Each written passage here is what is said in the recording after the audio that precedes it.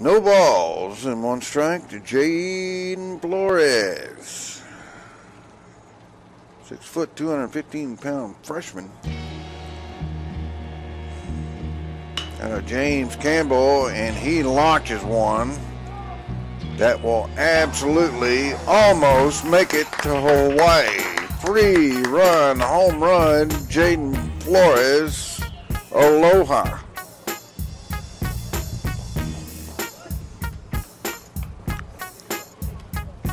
Well, y'all been patient and friendly and kind, and look at what you got there.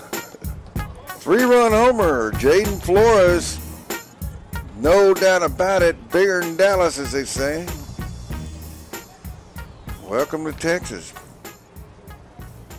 5 0, Alvin.